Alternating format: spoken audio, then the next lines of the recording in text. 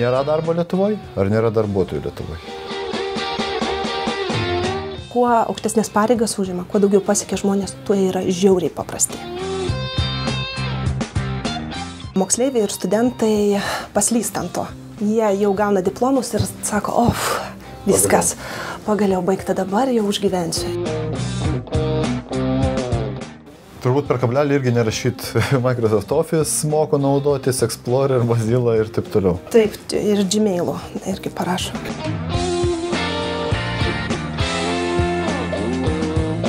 Labas Julė, iš tikrųjų malonu tave dar kartą čia matyti, mes prieš tai turėjom small talk su tavim kokį pusvalandį gerą.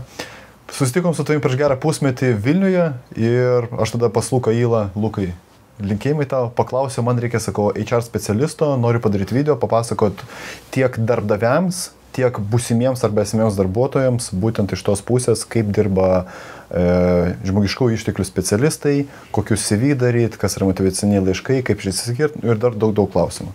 Tai labas, Labą. Papasakok, turbūt pradėsim nuo jaunuolių. Mane žiūri labai daug jaunuolių, jeigu ten iš 26 tūkstančių, aš manau, kad kažkur pem ant pem yra studentai arba abiturientai arba busimi darbuotojai arba jau esantis, bet ką tik pradėję savo karjerą arba lipti karjeros laiptais. Tie iš jų, kurie ieško darbo arba nori pasikeisti savo esamą darbą. Kaip turi atrodyti CV? Ta prasme, tiesiog Europasas arba kažkas kitas ir kokie ten dažniausiai aspektai turėtų būti paminėti, kad išsiskirti mhm. ir kad tikrai pretenduot stipriai tą poziciją. Supratau. Kalbant apie jaunuomenę, tai apskritai norėčiau tokį įvadą pasakyti, kad čia yra jų laikas dabar. E, kaip tik dauguma anksčiau manęs klausė, va, be patirties, nieks manęs nenori, tai šiuo atveju čia ant bangos. Vat būtent bestudijuojantis, net Taip. nebaigė ir ką tik baigė. O, o kodėl? Nes dabar labiau sureikšmina ne tik tą patirtį, o patį potencialą. Vat ir patį požiūrį. Tai tas yra skanu. Nes kiek ateina darbdavių, manęs neklausia, kad būtų trijų metų patirtis pardavimuose. Jau nebeklausia. Jau nebeklausia. Aišku, yra tam tikros pareigybės, kur tas būtina. Pavyzdžiui, gamyboje, uh mhm. -huh. ten koks chemikas, taip, technologas. Bet kalbant apie kitas pozicijas, kur vat, pardaviminės, marketingas, man sako vieną, vad degančių akių, tos motivacijos vidinio, to drivo, veržlumo, vad noriu tokio, išmokinsim. Netgi dar daugiau pasakė, sako, būna su patirtim ateina ir turi tas senų darbovičių klišes, kad šito nedarėm ten, šitą darėm kitaip ir tada tas, tą sustabarėjimą perlipti daug sudėtingiau. Dėl to sako, va, tą, va, tuos studentus. Taip. Lengviau išmokti negu pakeisti. Ne? Teisingai. E, tikrai taip. Ir kalbant, grįžtant e, apie CV, taip, tai a, kadangi žiūri žmonės, tai jie norėtų tokios naudos ir tai trumpai aiškiai, taip neįsiplečiant, tai visų pirma noriu pasakyti, kad personalistai ir vadovai yra tokie tinginiai skaitimo, tai na, nesiūskit tų keturių, penkių lapų a, vienam lape, less is more ir bus žiauriai gerai. Taip, kitas dalykas e, yra pačios gramatinės klaidos, stilius. O, nu čia turbūt iš viskas be ko, ne? Čia taip atrodo tokia savaime suprantama norma, bet tą CV higieną visi kliūva, griūna ir, e, ir akis bado rėžia. Jau kuo galiu pasidžiaugti, tai nuotraukom jau nuotraukas išmokė. Jau ne prie sienos, kaip jau ne prie KGB kambaryje, ne? Teisingai, ir ne prie automobilio. Jo, Būna ir tokių. Jo, jau apsiraminę, be maudimukų, tai be vestuvių nuometų. Jau... Bet tu juokauji dabar ar tiesą sakai? Ne, aš nekarikaturizuoju, iš tikrųjų, va taip gauni, taip va, tokius iš paplūdimio gaudavau tiksliau. Dabar jau, e, dabar viskas korekt. Bet CV yra laisva forma. Taip, kalbant apie CV, Tai ką daugiau pasakyčiau, tai laisva forma yra žymiai stipriau, nes suindividualizuota. Jau nuo ko mes pavargom visi nuo tų šabloniškų tezių, frazių, to oficialaus biurokratinio negyvumo. Ir per kablelį rašymas komunikabilus, organizuotas, iniciatyvus žiauriai nuobodu, žiauriai nieko nepasako. Pasakyk trys ypatybės, ką parašyti vietoj komunikabilus. Ir... Organizuotas ir atsakingas. Taip, taip. Tai ką pasakyčiau, parašyti konkrečius faktus, kaip tas pasireiškia darbe, studijose, kaip tas komunikabilumas, ką tu padarėjai. Supratau, buvau seniūnas, surinkdavau grupės, vos cementovkę dariau. Ir viskas, e, užskaitysiu. Net ten užrašė cementovkę, taip, kabutėse, Taip. jau, e, jau matau, e, nes visi už kadro, kam siunčiat, tai jūs siunčiat žmonėm. Tai ir būkite žmogiški.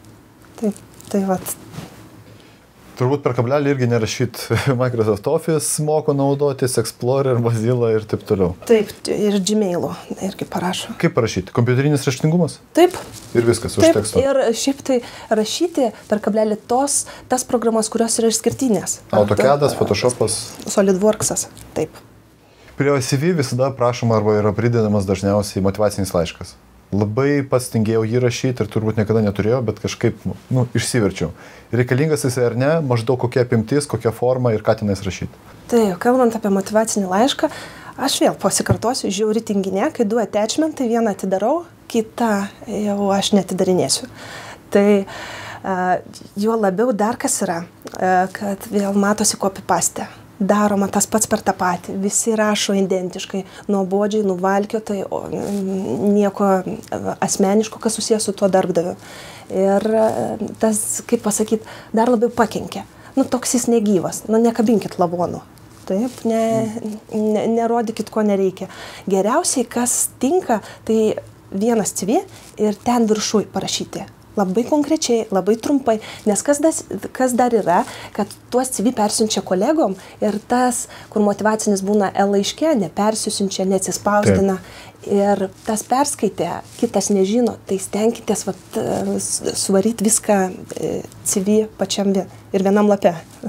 PDF'as? Visiškai teisė, taip. taip. Vien tik tai griežtai ar nebūtina?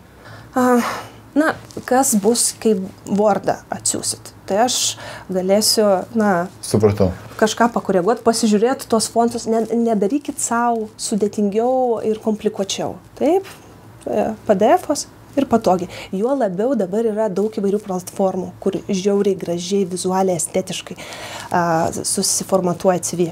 Template'ai. Tai va, Template'ai. Tai ten nueit, pasidaryti, rašyti ir nereikia jokių Photoshopo žinių. Ok. Ateina, pakviečia tą darbuotoją, sakykime, į CV, kaip jam elgtis pokalbio metu. Tarsi apsivilkti kažkokį tai kostiumą ir sėdėti, bandyti iš savęs rodyti, ten, sakykime, CEO kažkokį tai iš karto, mhm. arba ba- bandyti būti la- labiau atsipalaidavus. Kaip jam elgtis? Mhm. A, tai irgi priklausomai nuo pozicijos. Nu, pavyzdžiui, vadi, e, projekto vadovo asistentas. O taip, tai tada čia yra kitas e, kraštutinumas, kad neatrodyt per oficialiai ir labai susireikšminusiai. Kai e, šiaip žiauriai aš asmeniškai už esu tą IT stilių, kuris yra toks betarpiškas, paprastas, na, nes... Didžiulis golfas? Didžinsai golfas, taip, Steve Jobs iš Jo. taip. Kuo paprasčiau, tas na, nė- nėra esmė, ne, neturi žvilgsnis kristi, kad kažkas yra persistengta. Taip. Specialiai nekabinčiau nais kryžių kažkokių tai laikrodžių, blizgučių, dar kažkaip Kai, nesąmonė. kai yra viskas per daug ir akivaizdžiai matosi, kad stengtasi, ta, tada nėra, na, taip gražu. Didžiausios klaidos, kurias gali padaryti vat, būsimas darbuotojas atėjęs į pokalbį. Mhm. Apart tą, ką prieš tai perkalbėjau. Taip, didžiausios klaidos, tai galiu pasakyti, kas mat mūsų personalistus erzina, atrankistus, tai susireikšminimas, arogancija. Taip, vat, kai... Taip, o aš toks kietas. Taip. Mes čia dar kalbamės, mhm. dabar imk mane greičiau. A, arba dar daugiau, ne tiek tu imk, kiek su kuo man kalbėtis, kur vadovai. Mm. Aha, kaip tave praskipint, mergelė? Kas tai tokia? Taip, gerai, gerai, nėra laiko, su kuo man kalbėtis. Taip. Tai tas rėžia. Nes paprastai, ką stebiu per gyvenimą, kuo aukštesnės pareigas užima, kuo daugiau pasiekia žmonės, tuo jie yra žiauriai paprasti.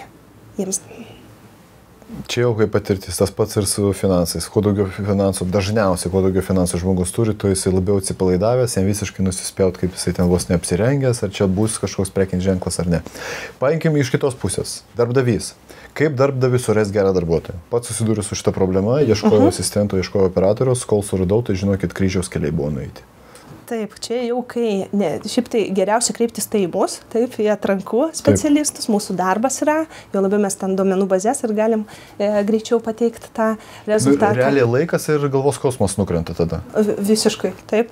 Jeigu esi geras stalius, tai ims. Jeigu esi technikas geras, Ras visada rasi darbą. e, Jeigu CEO, stiprus marketingistas tave ims. Čia, vad kaip ir sako, a, vat, ir klausimas, kaip galvoju, vadimai, kur miega 200 kg gorila. Džiunglėse? Mm, visur. Tai tas pats ir su kompetencijom. Kai tu e, esi stiprus, tai tave imst visur. Tu, tu visur gali eiti, jaustis užtikrintai e, ir tu gausi darbą. Na ir Julė, paskutinis klausimas.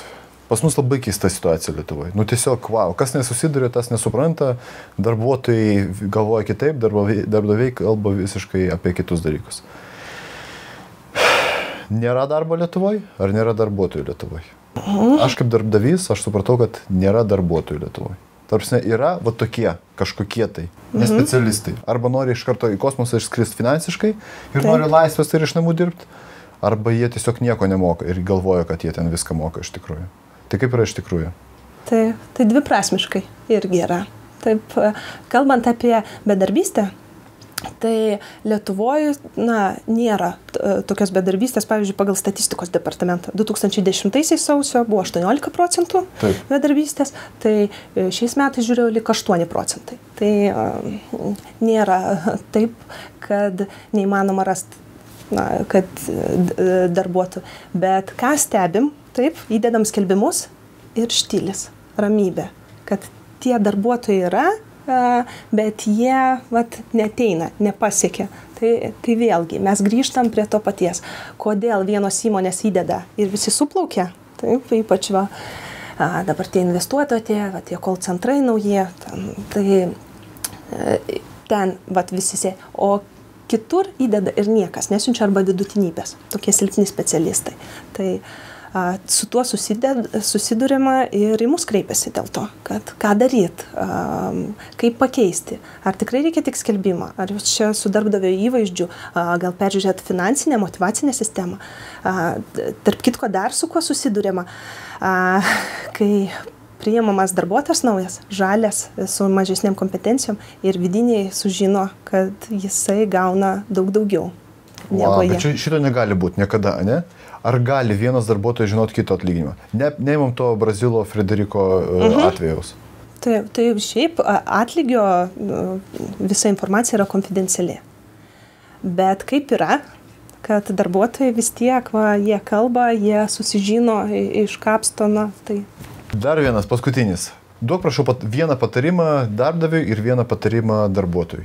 Mhm. O ko kaip specialistė galėtum patarti ir vienam, ir kitam?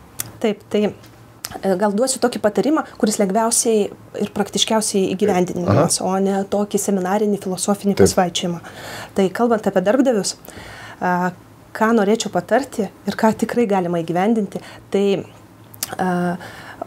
būtent patį darbo pokalbio vedimą ne, ne iš vieno kandidato girdėjau, kad yra ir atsisako darbo pasiūlymo, nes darbdavys elgėsi arogantiškai, susireikšminusiai, pasikėlusiai, buvo sutartas laikas, neteina, ignoruoja, a, kokio grįžtamojo ryšio neduoda. Na, tai ką darbdaviams palinkėčiau, tai pokalbio metu jūs galit parduoti savo įmonę ir prisitraukti talentą a, vien dėl to, kad jūs elgėtės žmogiškai, pagarbiai, partneriškai. Tai mhm. Tai viskas baigėsi to kvotimo tardymo laikotarpis. Dabar interviu yra toks lygiavertiškas, malonus experiences. Taip. Tai vad, kalbant apie darbuotoją, kokį jiems duočiau patarimą, tai darbuotojams palinkėčiau tokio proaktyvumo, nes kas dabar yra, tai persiunčia CV ir viskas ir tupi. Ta, tas pas mus yra a, dar gajų Marijos žemės va, tos mentalinės nuotrupos, kad, oi, nu ko aš čia dabar lysiu, nusinčiau, tai nusinčiau, na, ko aš dabar skambinsiu. Tai va, aš sakyčiau, reikia va, drąsiau, truputį to sveiko įžalumo, korektiško, bet įžalumo, pasiskambinti. Va, Julija, ten, ar matėte, aš persiunčiau. Ir čia toks psichologinis momentas, ašgi atidarysiu tavo atsivį, pasižiūrėsiu. Kas čia toks įžūlus? Kas, kas čia toksai, aha, kas čia toksai proaktyvus dabar, arba dar parašo būna irgi. Ir jūs galite rašyti ne tik atrankystams, bet, tarkim, linkedinę, susiradę. Vat tos įmonės savo, X įmonės, sales ar marketing menedžerį. Ir jam asmeniškai parašyti. Dabar linkedinė vis, visos tos pozicijos topai, jie sėdi, jie, jie gauna žinutę. Ir kad nors betarpiško, malonaus A, vat, ir kas susijęs su ta įmonė. Taip, parašyt, va, mačiau, loginę gavot metų iniciatyvą. Man žiauriai faina. Aš norėčiau būti tos komandos narė, nes jūsų produktas toks ir toks ir toks. Tikrai Iš pasikvies. vau. Jo, nelaukti net skelbimo pačiam, proaktyviai susirasti savo darbą. Tai, ir visą tą daryti žaismingai. La- Labai žiūriu, net būna jaunimas labai oficialiai, šabloniškai, biurokratiškas, toks taisyklingas. Na, bijoma žaisti, rizikuoti, improvizuoti. Tai, na, gyviau yra įskort. Super. Studentai, aš žinau, kad jūs žiūrit mane arba tie, kurie esat nepatenkinti savo darbu. Aš šimtą kartų jums sakiau, kad, vat ir Julė patvirtina, nusintėt CV, niekas netrašo. Paskambinkit, dar kartą parašykit, netrašo, neskambina, nekelia ragelio, po galais pasibelskit duris, tiesiog pasikalbėkit, papasakokit, kad esat e, siuntę CV, kad bent jau trim minutėm arba bent jau vieną minutę, kad jūs pakalbintų ir bent jau per tą minutę jau taip surepetuokit tą kalbą savo ir taip save pristatykit, kad tiesiog bent jau jums duotų kažkokį tai šansą. Gana sėdėti ant savo užpakalio, super iš tikrųjų, čia buvo pokalbis ir labai naudinga informacija. Draugai, labai svarbu pasisavinti šią informaciją. Ne tiesiog išklausyti, bet pasisavinti. Darbdaviai irgi turėkite omeny, aš irgi visada teiraujuosi, visada bandau sužinoti kažkokios informacijos, ką daryti, kaip daryti, kaip elgtis. Draugas, nedraugas, kas motivuoja, laisvesnis grafikas, pinigai, atostogos, dar kažkas vieta, komfortabilesnis kažkoks, nežinau, krėslas, dar kažkas. Irgi išgirskit būtent, ką pasakojo Julė. Visiems draugai dėkui. Julė, ačiū tau labai.